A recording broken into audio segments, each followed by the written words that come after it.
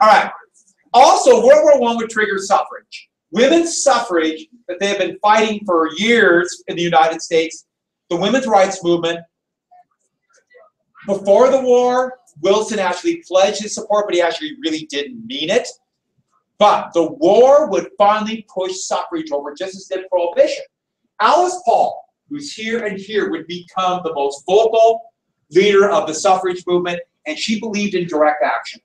They had to do direct action to get the right to vote, to force President Wilson and the progressives that were in Congress, both Republican and Democrat, to do what they swore they would do. And Alice Paul is truly one of the great Americans in our history. And unfortunately, she has been forgotten almost. A pretty amazing person. She went to Britain and learned a little bit of her trade, and then it would actually teach them after the war. And after fighting for this, and what happened was, well, read the sign. And look what they're calling Alice Paul. Thanks for the paper. What they call Alice Paul, or what she's calling the, the president, is the Kaiser. You think she's going to be imprisoned?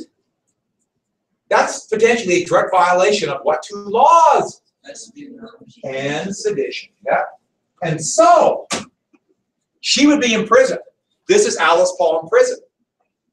And this is a protest outside, and because she is a political prisoner, being held because she wants the right to vote. She says, regardless of war, we demand the right to vote. And in prison, she would go through a hunger strike. And just like what happened in Britain, what would happen to her? They were force fed. A tube would be put through her nose, through her sinus cavity, down her throat, and would be force fed. And by the way, it's a steel tube. Hmm. This is torture. By any definition, they tortured her because she demanded suffrage. But by taking it, by looking like they're on the side of right, this forced President Wilson and mostly Democrats, but also some Republicans, to finally say, yes, we will have women's or suffrage. Congress would pass, and in 1920, the states would ratify the 19th Amendment. And they would dub it the Susan B. Anthony Amendment. And that would allow for women's suffrage. Southern states were the last one. Tennessee, actually, one member of their state house literally switched his vote. Tennessee would finally ratify it. And they would, uh, and they would, uh, or women would have suffrage. Now remember, Montana already had this in 1914. One more thing, Alice Paul after that also wanted to rectify one other big problem in the Constitution, and she would write the Equal Rights Amendment in 1921. And it would be voted on time after time, which all the Equal Rights Amendment said is there can be no discrimination based upon sex. That is still not the law. So women to this day are not guaranteed equal rights. So Alice Paul would write that. She'd get one major success, but women are still not equal under the Constitution. Yes? What were the arguments against that and the nineteenth amendment? Uh, Well, we'll, go- we'll talk about the ERA a little bit later, so let's save that one. We get to the 1970s. Against this? The idea against women's rights is that women aren't as smart. And so why would you want people who aren't as smart and not, not qualified to vote to vote? They would only vote the way their husbands wanted them to vote. Or women would be frivolous and vote for whatever handsome man would be president. Basically saying that women were inferior. And so, one more big thing happened, the Spanish flu. Where did the Spanish flu begin, by the way? Kansas. Began in Kansas. But it's, it's unclear the origins of Spanish flu, something to do with the Spanish ship. But it began in Kansas because of the war. Basically, almost certainly because uh, train, uh, boot camps were hastily built on flat areas for boot camps and western Kansas. And contracted it there from some animals that weren't really around people that much. But the big reason why this was so bad is a combination of it started in Kansas with troops. Well, the troops are going to get on trains and they're going to go to Philadelphia. That was the main part of port of embarkation to go to Europe. Well, what happened? All along the train routes, they spread the flu. So the first big breakout would be in Philadelphia. And then these troops would get on ships and spread it all over Europe. And soon, an international pandemic, starting in Kansas. And these are a couple of examples.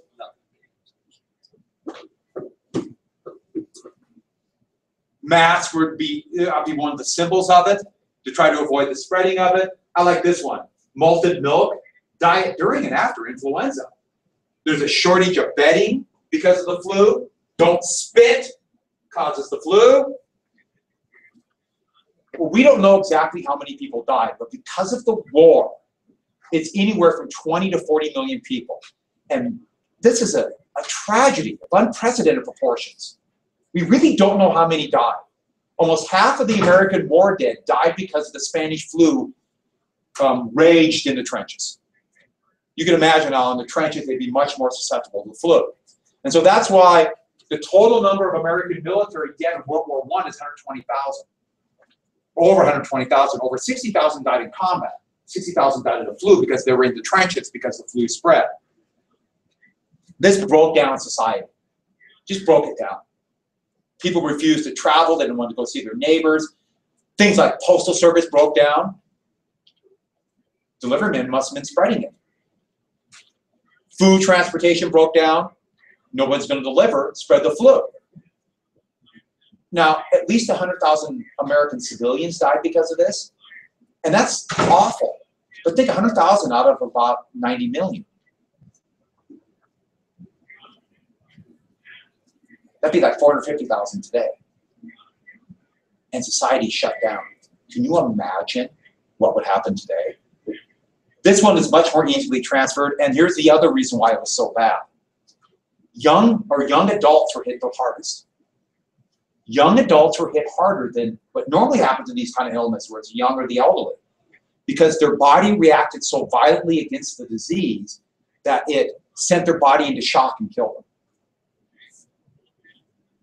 And so you combine this with the war dead, and there's going to be what we call, and we'll come back to it, a lost generation. And this is an interesting little GIF. Why isn't it working? Work! There we go. See how it spreads Philadelphia, the first World big impact, and then pretty soon all over the country. In a month. In a month. That's a, a mass grave in Philadelphia. Had to get the bodies underground. Yeah. Did the Allies try and use that against the Germans? No, they didn't really, it, it spread. Didn't have to. So it just happened anyway. Actually, it hit both sides really bad.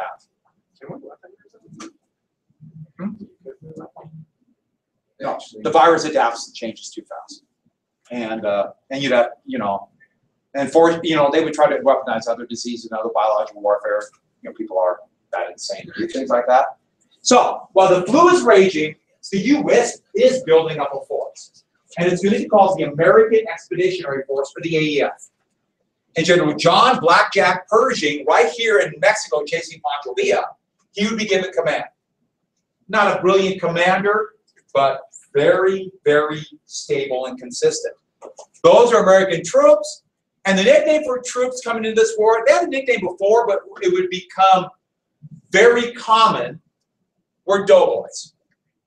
Doughboys. And it's also in this war that Uncle Sam, which we all saw in that picture, and it was also in your DBQ, Uncle Sam, that replaced Lady, completely replaced Lady Columbia as a citizen or the symbol of the United States. There's a lot of, probably came from the Mexican War where doughboys came from. It's Uncle Sam from the War of 1812.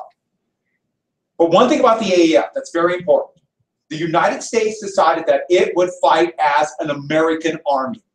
The British and French wanted these soldiers just to be plugged in as replacements for British or French dead. And Pershing said no. This infuriated the Allies. Looking back, it might have been the right choice, but you can understand why they'd be infuriated. There'd be a couple hundred thousand American soldiers arriving every month by the summer of 1918. But they could not fight as a big unit until August of 1918. And so there's a lot of months there where they needed these soldiers. Well, what we're coming up to though is two things. First off, President Wilson's 14 points.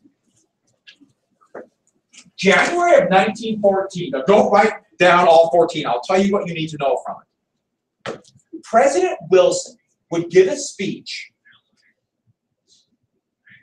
where he laid out his vision of peace called the 14 points.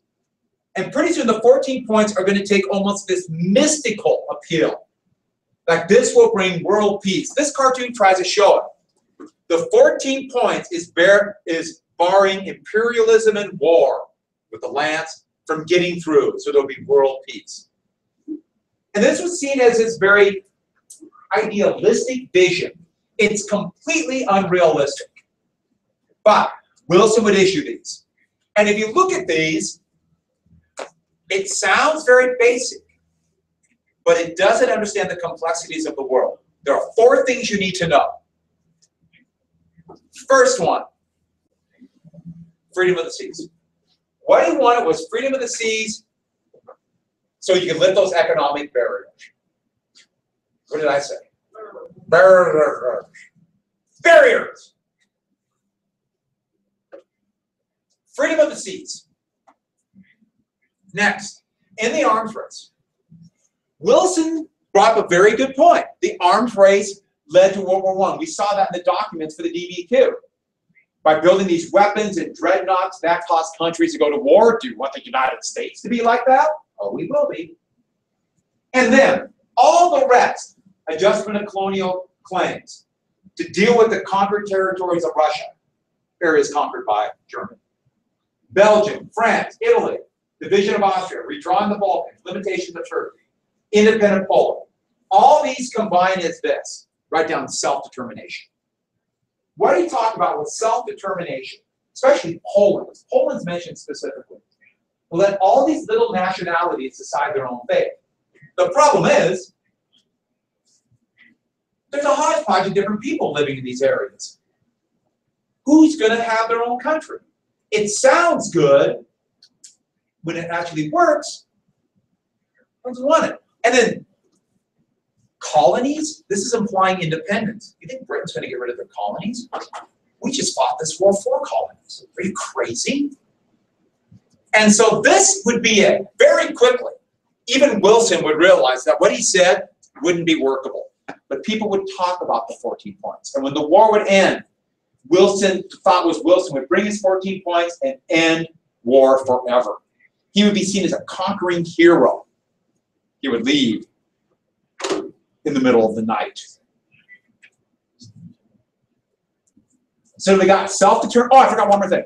Self-determination, freedom of the seas, arm and arm race, and the last one. Some kind of association of nations. That's going to be called, write down the League of Nations.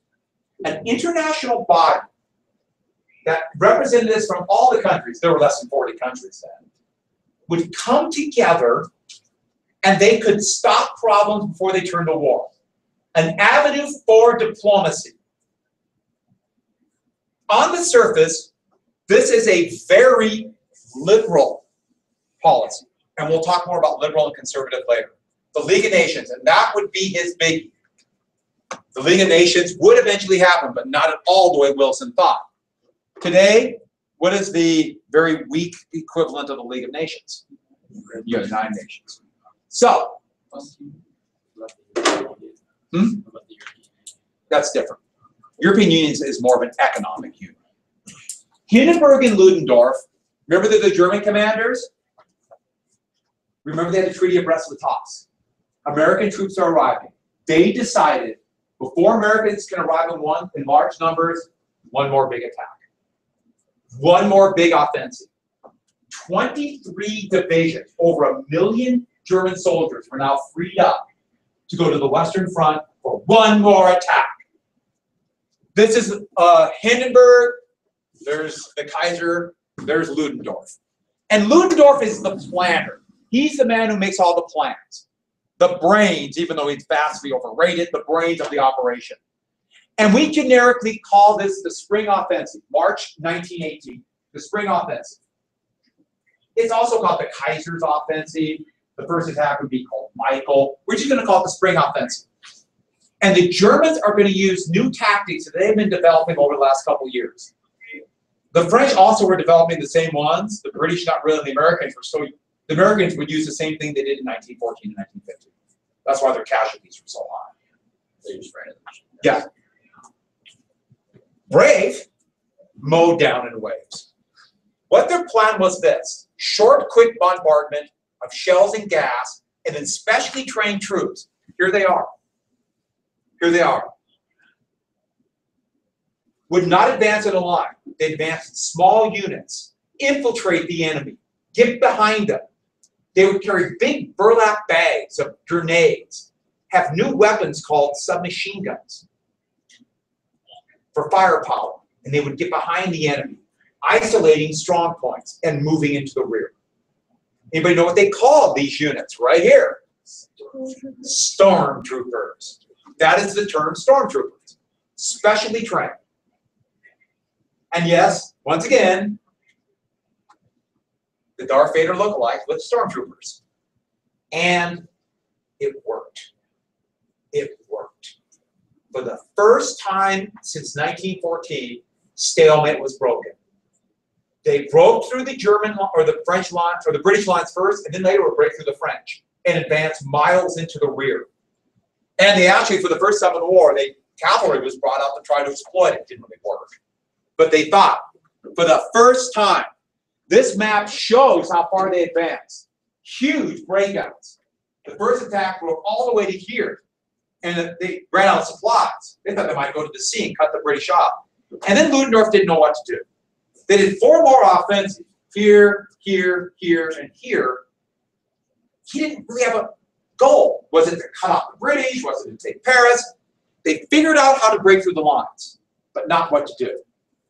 These attacks in 1918 would be the precursor to what German style of attack in World War II? Anyone know? Blitzkrieg. So they broke through. When they got to the Allied trenches, the German soldiers were told the British are starving. The British are out of food. The Germans have been told the U boats are starving them to death.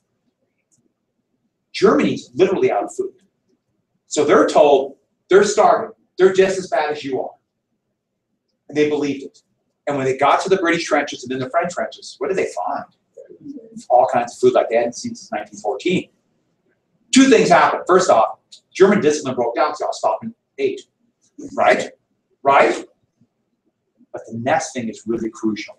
The German soldiers realize they've been lying to us. They've been lying to us the whole time. It is like all their illusions were shattered with one failed blow. They have been lying to us. If they've been lying to us about this, what else have they been lying to us about? Hmm?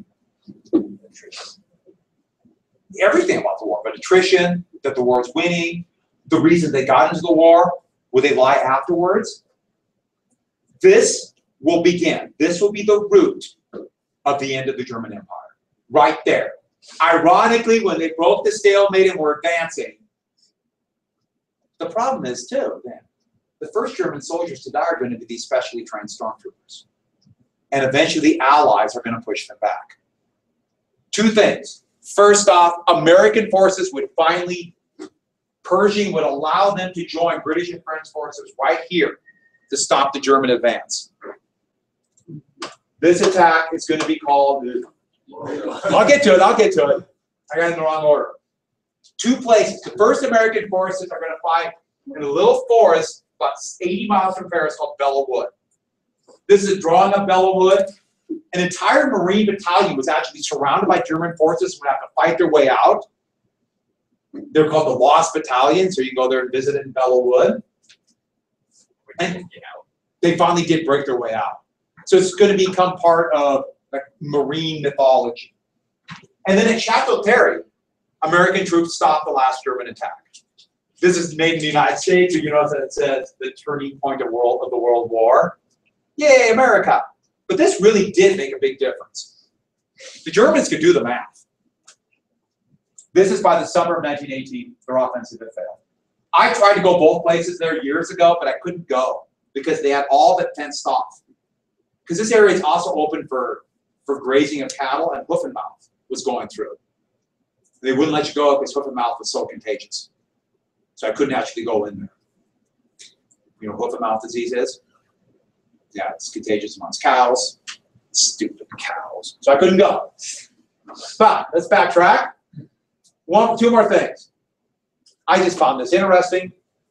The Fran the Germans actually devised a gun that could shoot 60 miles, a howitzer. And that's it. 208 millimeters. The gun barrel itself is almost 20 yards long.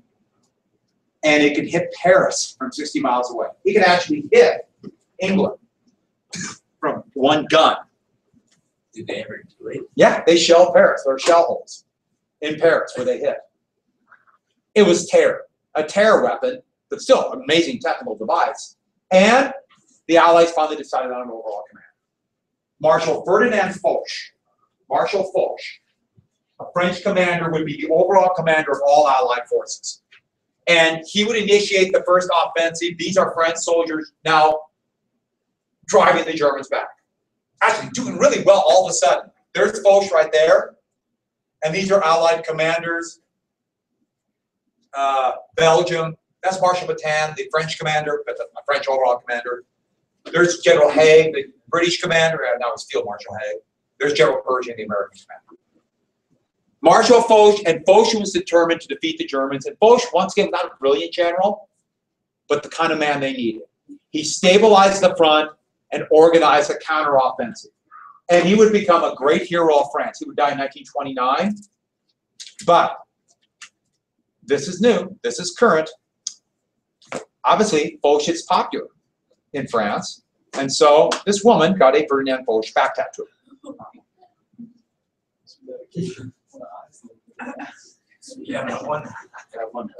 Now, I know what a lot of you are thinking. I want one of these. Yes, I'm with you. So, I decide to make it worth your while.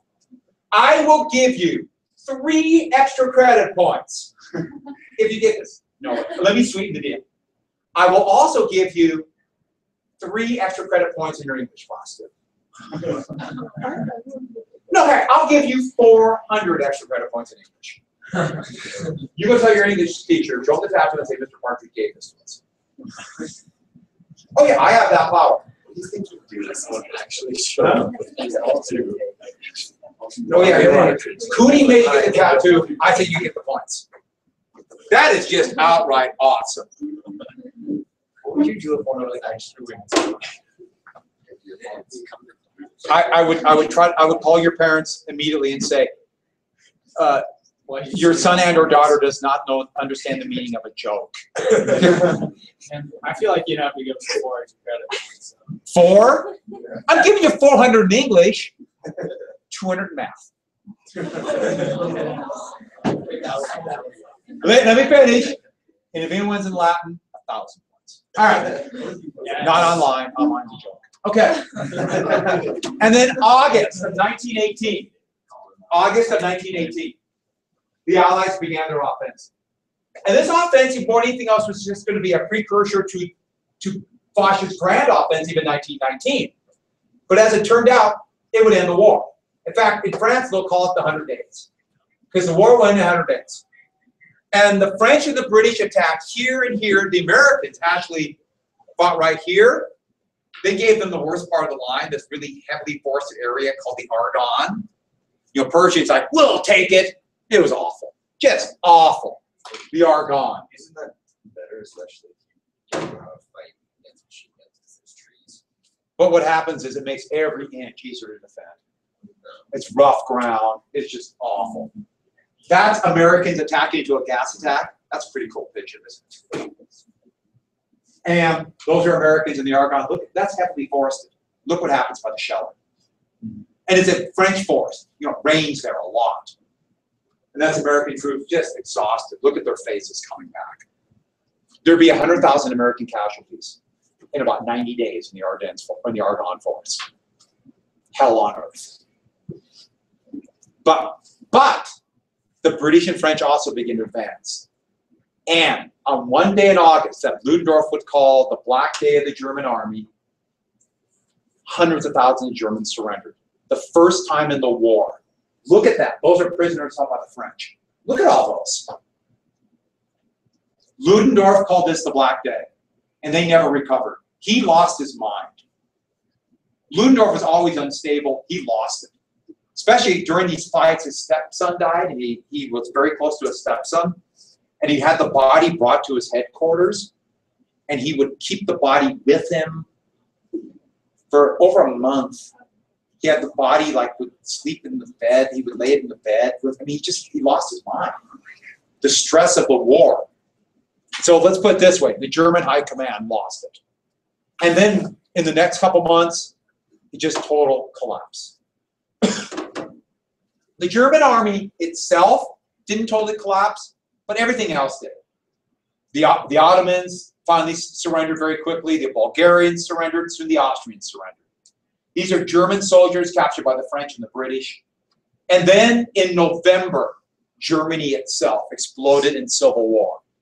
And the roots of this is that March offensive we have been lied to. We have been lied to. Germany exploded in 1918. And this, this, this is Elvis. This right here. All these areas are showing how the revolt spread. It started with the, the fleet.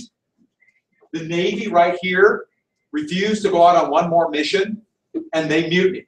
And it spread throughout Germany. Food riots and anti-German riots, these are actually communists in Berlin that for a short time tried to take over Berlin.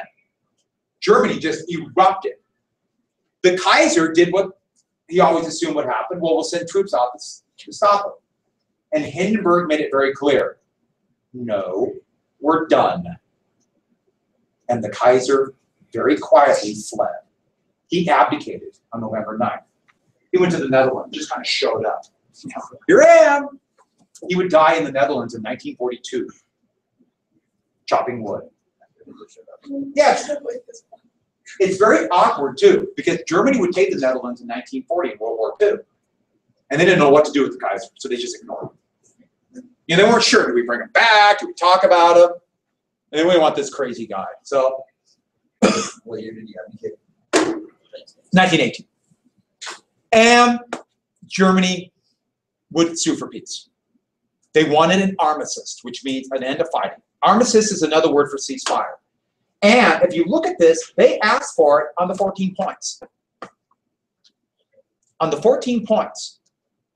But the Allies said, nope. You agree to whatever we want and we'll cease fire. Foch actually didn't want to quit at first. He wanted to drive into Germany and totally defeat their army. Because he was worried if we don't totally defeat them, what will the Germans do? They'll come back. And he was exactly right. 1929. Oh, so you can see the magnitude. But they would finally agree to an armistice, and they could have done it on the 10th, but they decided to do it on the dramatic date of the 11th. So they could get the war to end all wars on the 11th hour of the 11th day of the 11th month. in 1980. That is why Armistice Day will be on November 11th. And then after World War II, in the United States, they changed it to what's in November 11th? Huh?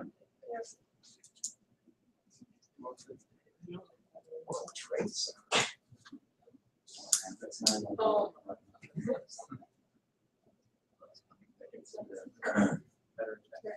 Veterans Day, thank you.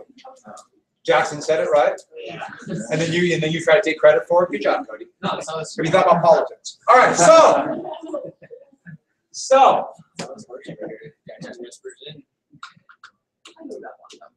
in. in back in Canada, in France, it's Remembrance Day. So that's day for a month there. They were a poppy. These are American soldiers celebrating it's over. Yeah, at 10:55, everybody fired everything they had up in the air. Everything, fired everything, and then 11 o'clock silence. 11 in the morning, and then it was just kind of like. So they fired gas too. Except, they, except for the gas shells. But they fired all the other rounds, they're shooting in the air. Did anyone die? Yeah. that- that's what I was thinking. Like- So, I love this first thing. Oh, they signed an armistice. I love Kaiser flees to Holland. And they made him sign on this train. And this is, I'm just telling you this story. Well, let's, go, let's come back to that. Where's my mouse? I love this one. Germany's Flag Day. Get it? Yeah, those witty Brits. These are Americans in Philadelphia celebrating when the war is over. A false story got back to the US that the war ended on November 7th. And so all over the United States, there were huge parties, people you know, celebrated all night and found out no, the war wasn't over. So in the United States, you know, the, the 11th was kind of subdued because everybody was still kind of hung over from the 11th or the 7th. But the French brought him to a train near the forest at Belleau Wood at Compiègne. And this is the train that would become a kind of a traveling memorial. And this train, there's Marshal Foch right there. And they forced the Germans to surrender. In essence, was a or uh, armistice that in essence was a surrender. The Germans had to march home, and they had to give up their fleet, a number of things. And this would become an important memorial in France in 1940, when France very shockingly surrendered in World War II, at least the first part of World War II in 1940.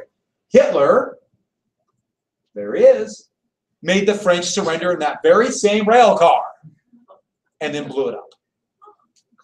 So it's gone. Well, the war is over. Those are American dead at the Argonne. Are gone. That's what the the gas mask in. Got it right here because you can get it out quickly. And they're digging a temporary, see the temporary cemetery. There's a huge American cemetery in the Argonne. It's right near Verdun.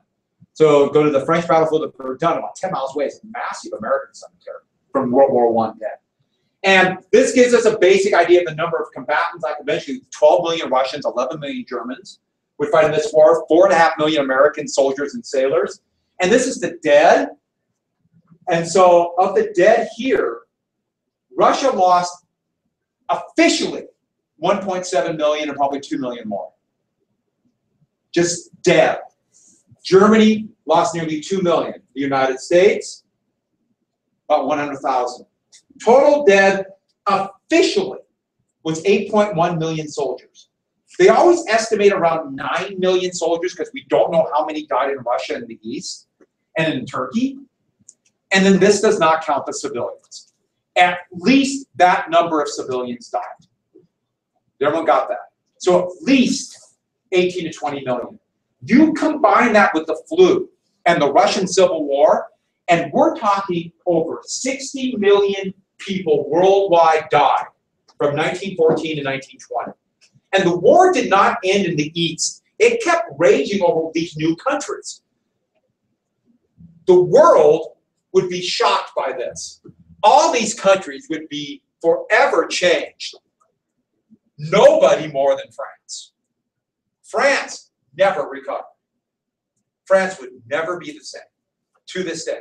And if you go to every French village, right in the center of the town is a memorial to World War One. They won it, but at a horrific cost because their population was not as great. Their most industrialized regions were destroyed in the war. They never recovered. But one more thing we have to add: that the people who died that age in the 1920s, it's going to be called. Everybody write down the lost generation. You combine this with the flu, and there's going to be a hole in some of these countries of young men and some women because of the flu. Because so many young women died because of that age group of the flu. They're not going to be the same, this generation. And those who survived the war, they're not like they were when they left. It's going to be this generation that will go in the Great Depression. It's going to be this generation in some of these countries like Germany that will become Nazis, combined with the blockade generation of children. And so the war is over. But I didn't put this down. Write down the Allies kept the blockade going for six months. The Allies did not stop the blockade. And the war is over. Yay, the war is over. There's civil war in Eastern Europe. Literal civil war. All these nationalities want their own country. And so, when the Allied powers would meet, in what city did they meet in? Huh? Paris. They met in Paris. They met in Paris to talk peace There's still war going on. In the Ottoman Empire, there's fighting. Heck, Greece is going to invade Turkey insanely. There's fighting in Central Europe. There's fighting in China. There's fighting in the Soviet Union. And Germans hadn't surrendered in Africa until 1919. And we're coming up to what we generically call the Treaty of Versailles. Versailles is the old, or it's the palace of Louis XIV outside of Paris. They would force the Germans to sign the treaty there. But the treaty negotiation was in was in Paris. And a couple things. First off, we have to get these people what they want. Georges Clemenceau was the socialist pre- premier of France. He's right there, a tough old politician. And Clemenceau, in fact, Clemenceau demanded that the treaty is going to be, we're going to do it in Paris. We won this war. France bore the brunt of this war. The treaty's going to be in Paris, and we don't care what the British say. Clemenceau, and this is what he wanted. Write down. Make sure Germany doesn't do it again. Does that sound logical? Yeah, that's pretty logical. Germany defeated France back in 1871. Germany nearly got them in 1914, 19, and 1918 to make sure Germany doesn't do it again. Now, history is going to say that he wanted to punish Germany. Well, yeah, they wanted revenge. But the goal was to make sure Germany didn't do it again. How do you stop Germany from doing it again? That's very arguable. But remember, Germany forced Russia to sign that horrific Treaty of Brest-Litovsk. And they're thinking, if they did it to Russia, we're going to have to do it to them. That's why Clemenceau looked at it. David Lloyd George, right there, he is the British Prime Minister. And Lloyd George, he actually, yeah, he wanted to punish Germany, but his big issue was let's make sure the British Empire is protected. Let's make sure the empire is protected. And then lastly, President Wilson would go to the treaty negotiations. A lot of people told him not to. Don't do it. If the negotiations don't go well, it'll be tied to you personally. Send your Secretary of State, send advisors, send members of both parties to go. No, Wilson, looking back at it rather arrogantly, went. And when he arrived, this is him in London, uh, he would also go to Rome. He was met by, and this is no exaggeration, over a million people. And they cheered Wilson on. You got this, Cody? They cheered Wilson. They cheered him. He is going to bring peace. He actually really, it really went to his head. I am the peace giver. I am the one that will decide peace. With the 14 points, which everybody realized was unworkable. And when they got there, Clemenceau was absolutely shocked at how little David Lloyd George knew about Europe. Britons are notoriously ignorant about the continent, and how Wilson knew nothing. Wilson did not have a clue about European politics. Wilson did not understand the complex nationalities of Eastern Europe. Wilson did not understand what both countries went into the war. Wilson, Clemenceau thought was a fool. Yes. So. And Wilson would contract the flu during the negotiations and would make him horribly ill. Well, back to what Wilson wanted. Wilson had this vague idea of the 14 points. Wilson talked about the 14 points, but he implied League of Nations. League of Nations. Everyone got that? Wilson was indicated as League of Nations. But he would negotiate almost all the 14 points away. Not even negotiate. It would just be dictated. Clemenceau would make it clear, no, no. In fact, Clemenceau had the great comment about Wilson. When Clemenceau was asked about the 14 points in January of 1919 when the negotiations began in Paris, Clemenceau said, Wilson has his 14 points. The Lord had 10. We'll see. We'll see. Italy expected to be treated as an equal. They expected to get all kinds of land from Austria, and very quickly they were snubbed. Their prime minister, Vittorio Orlando, actually went back. He left the negotiations for a while, and then came back and was a non-entity. At first, they talked Big Four, pretty soon became the Big Three. Italy. suffered greatly in this war. Over 2 million casualties, their economy ruined. This will directly, Italy being, as they saw it, snubbed. This will directly lead to what new form of right-wing, ultra-conservative, pro-business government? Fascism. Who would be their fascist dictator? Benito Mussolini. In a week and a half, I will show you the greatest thing ever put on film. Awesome, Japan. Japan expected to be treated as equal too. They were snubbed. Japan felt snubbed. Oh, they won't forget.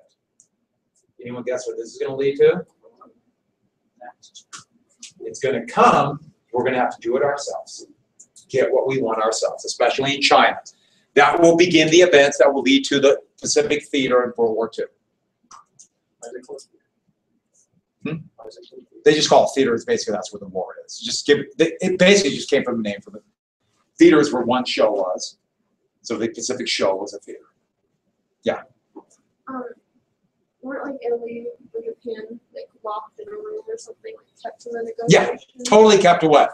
And so were the Germans.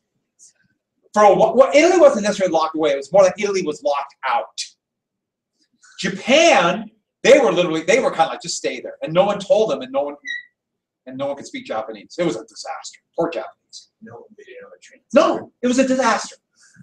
And the Germans were locked in a room.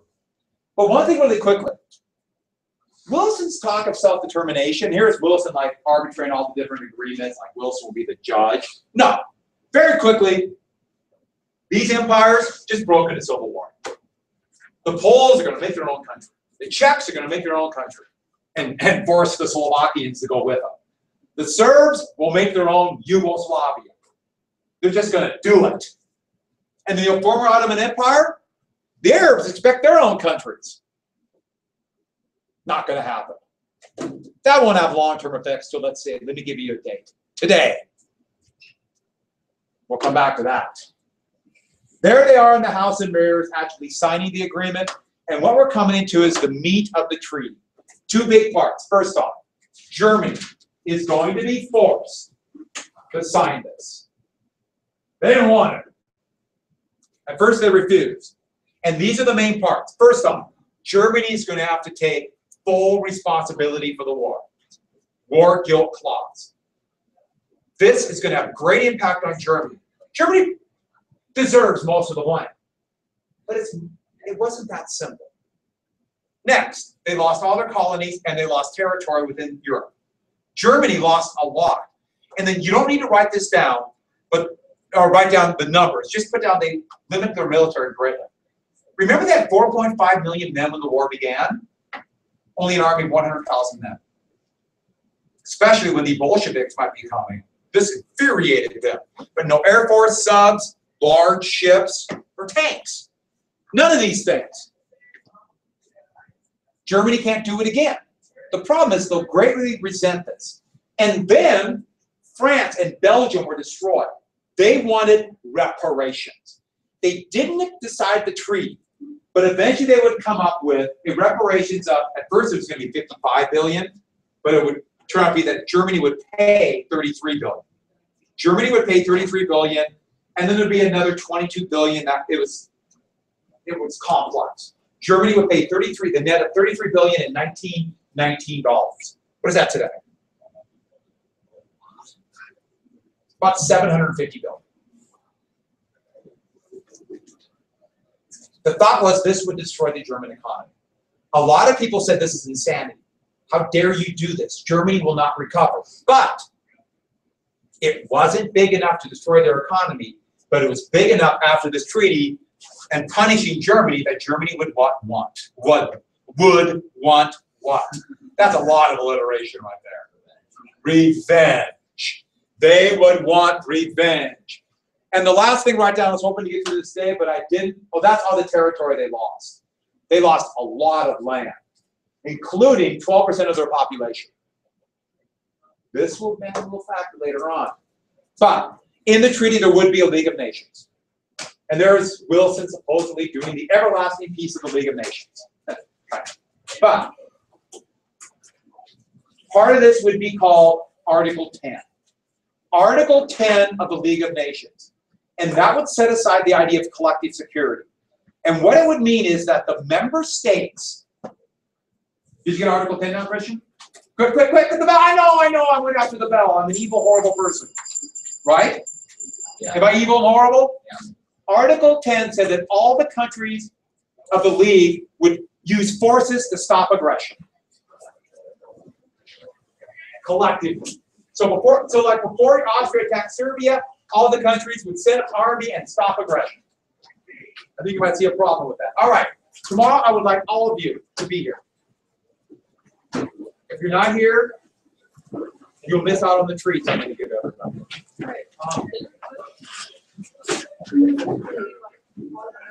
Chapter twenty-five is due on Friday. Friday will be, I don't know if the test will be Monday. I keep on forgetting that Monday's that shortened period. That's So we're gonna do, familiar, we're gonna do the twenties